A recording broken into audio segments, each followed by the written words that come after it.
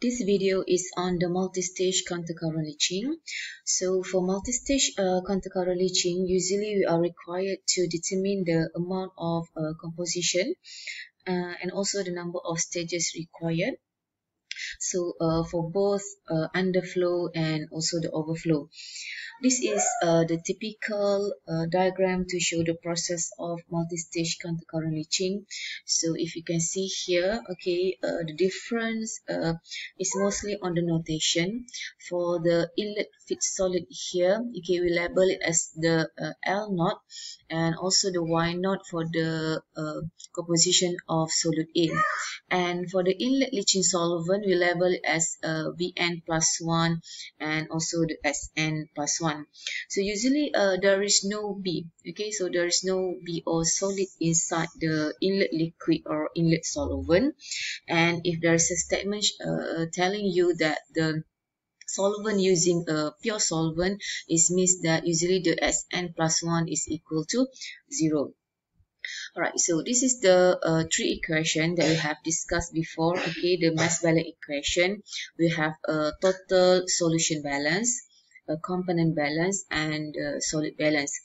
These three equations are used uh, usually used to determine the coordinates okay because uh, in order for us to find the number of stages later we need to determine the coordinate of the L naught Vn plus 1 Ln and V1 and in order for us to determine the coordinate for uh, to determine the coordinates we need to perform these uh, three types of equations okay right now uh, if you look out into the next slide these are the steps involved okay to uh, determine the number of stages required. And um, uh, uh, what so what is important here okay the first one is that you need to have a graph you need to plot a graph of uh, n versus uh, sa and ym okay? So uh, usually the information on the tie line which is the n sorry not the tie line okay? The information of the n versus ya is given. So uh, in, uh, whether it's a constant memory you just, have a straight line or if it's the data is tabulated inside the table then maybe usually you're going to have a big curve line. And beside that you also need to have the coordinates of this vn plus 1 ln L0 and also the V1. Alright, so right now we straight away go to the example. Okay, example 12.10-1. So a continuous uh, counter-current multi-stage system is used uh, to leach oil. Okay, so right now we have a component A, which is the oil. We want to extract the oil from meal, which is a B, the solid B, by using the benzene solvent C. So the process is to treat 200 kilogram uh, B. Okay, so this is the information given on the inlet slurry stream. Okay, which is the uh, L naught and uh, you can calculate the L naught and Y naught from this information given here. Alright, so the next is the inlet flow per hour of fresh solvent. Okay, so this uh, sentence will give you the information on the inlet solvent. Okay, in the solvent used to extract the oil from the meal be here. And there's information okay telling you that the leach solids are to contain 120 kilogram oil means that in the outlet of the slurry stream okay there will be uh, about 120 kilogram of oil remain inside the uh, solid stream Alright, so given to you here, okay, you can uh, you know that you need to plot the graph of n versus ya, and uh, look like that this is a, uh, this uh, system is not a constant, so you need to use this uh, data inside the table to plot the line of n versus ya. Alright, now the question asks you, calculate the amounts and concentration of the stream leaving the process, okay, and what is the number of stages required. So if we sketch the diagram, okay, uh, put a proper label on the inlet and outlet of both slurry stream and solvent, okay. So you can see uh, this is the information given, uh, the amount of A, B and C is given. Alright, so straight away we can calculate the value of L naught and Y naught. So if you still remember L naught is the solution which is the amount of A plus C. Okay, so it equals to 850 kilogram A plus C. And once you determine the L naught, we can calculate the Y naught, which is the A over A plus C. Okay, so um, that's for L naught and Y naught. And for N naught, is is actually a B over A plus C, which is uh, will give you the value of 2.353. Okay, by solving this one, we can uh, determine the first coordinate of the L naught here. Alright, now for the Vn plus 1, okay, so this is the information given. We have the value of A and C.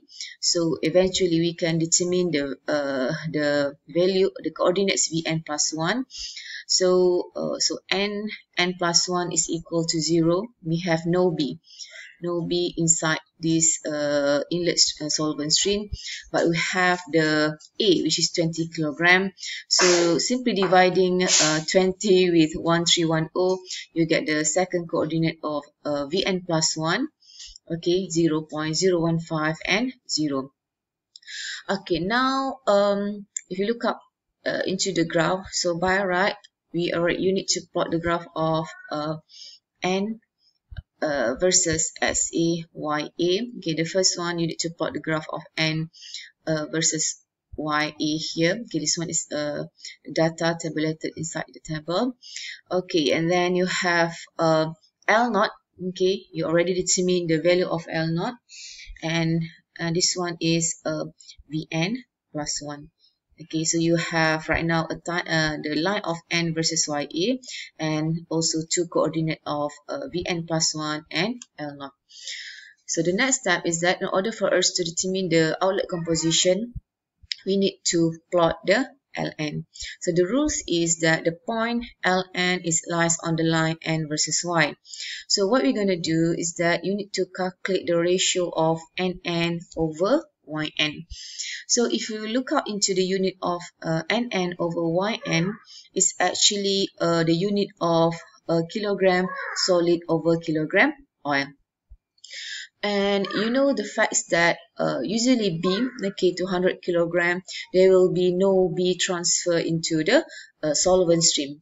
Okay, there's no B uh, transfer inside here so that the amount of B in the inlet uh, slurry stream usually will be the same. So if the inlet is 20, uh, 2000 kilogram and the outlet will be 2000 kilogram and given to you the information of the amount A is 120 kilogram. So uh, the ratio of NN over YN is simply uh, B over A. Alright, B over A which is equal to 16.6 uh, uh, 7 kilogram solid over kilogram oil.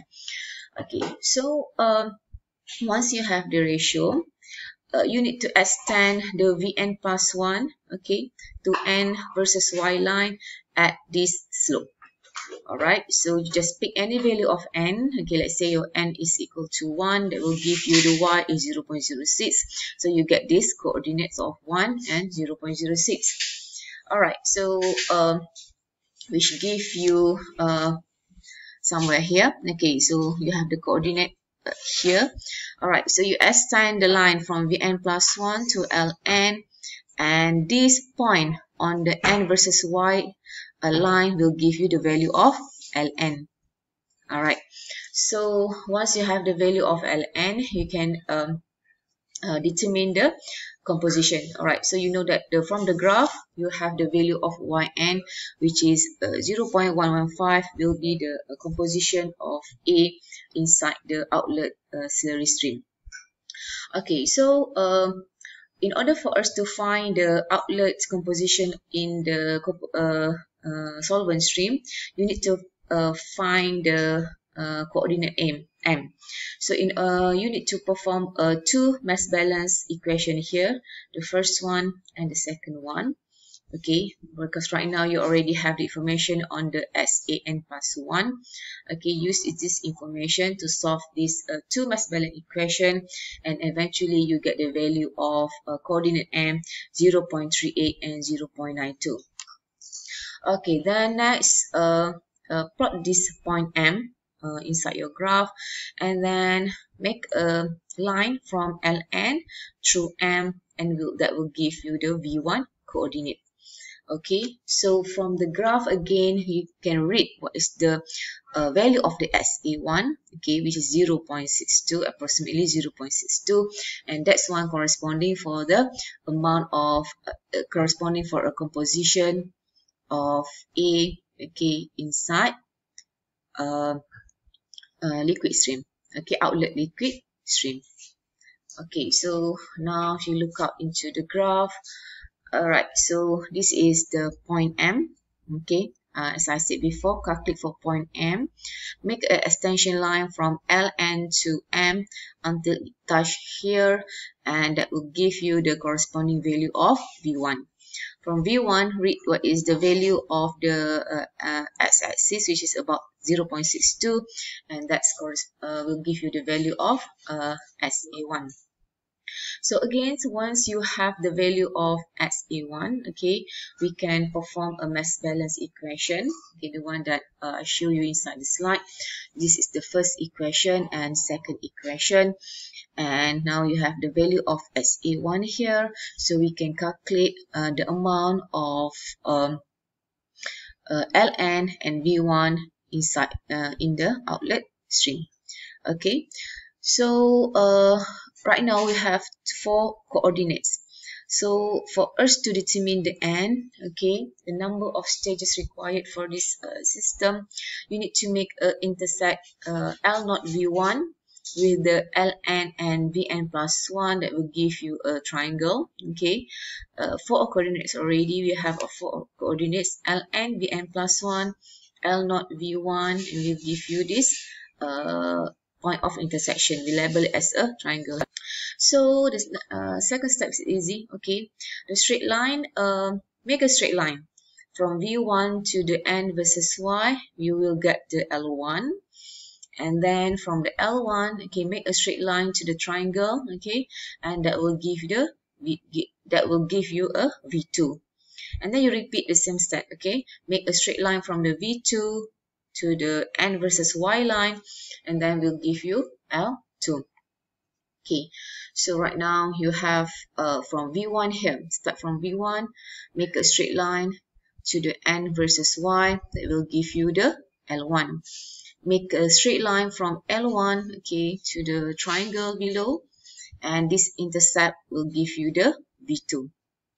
Repeat the step that will give you the L2. So until this value, okay, will exceed the Ln here. Okay, so right now, uh, uh, you know that uh, the number of stages required approximately. Okay, so this is the L4, this is the L5. So from this graph, okay, we can uh, determine, okay, the number of stages required to recover a certain uh, oil, okay, from mill by using the benzene system is approximately about uh, 4.5 stages. Okay, thank you.